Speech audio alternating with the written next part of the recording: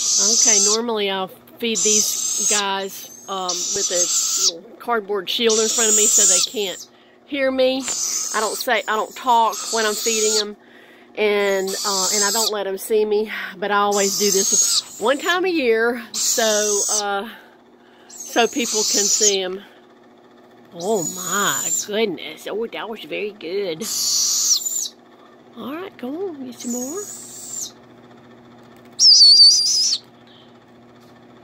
There we go.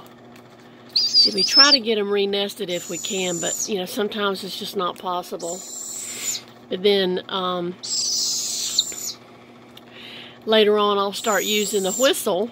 When I come in, I toot the whistle, and that, that sets up the food association so that uh, whenever I, uh, uh, you know, transition them to the outer chamber, and then I open the door, um, then all I have to do is go out and toot the whistle, and they come wherever they are in the woods. They come back and uh, and feed. It's amazing how that works.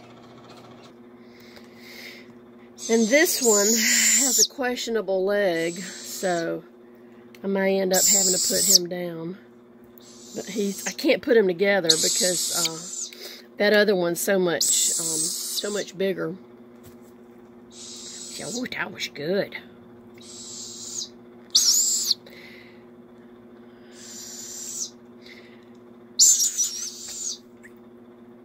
Oh, that was very, very, oh, oh, that's very tasty, Mommy. Thank you, thank you.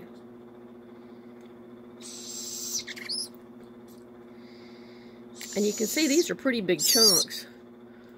You know, they can swallow a third of their body weight whole, so it's, it's okay.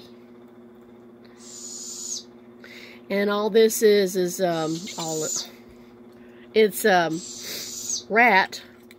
See, this is where some of the rehabbers screw up is that they start feeding these babies fur from the start and that takes up you know and their guts aren't um, developed yet so that food just I mean that fur just sits there takes up room in the stomach where the nutrients should go and then they can't eat a full meal so then you're you're here every hour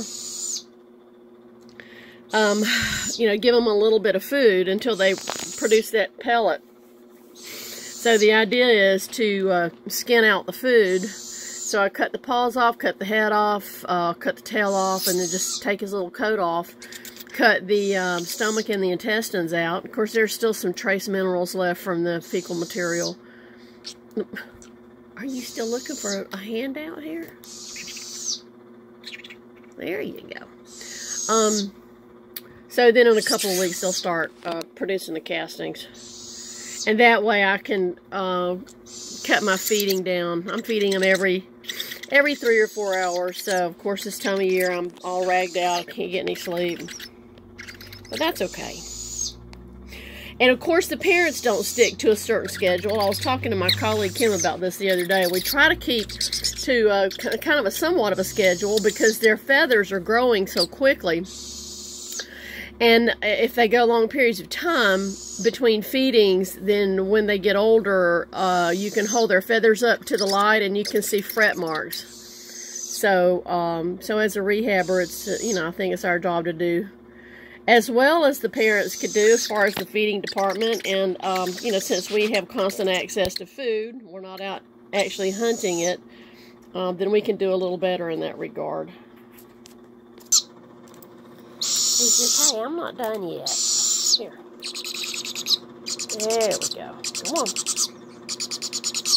And of course they make a mess. But that's okay.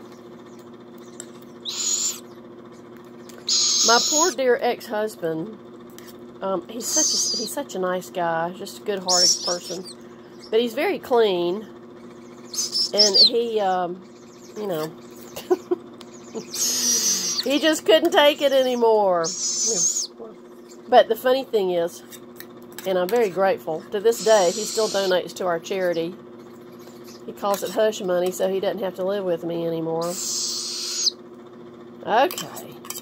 Alright, this will be the only feeding you'll see. Um, it's not, it's kind of boring to uh, film the feeding from behind the um, the shield. but it's an important part of, uh, of what we do.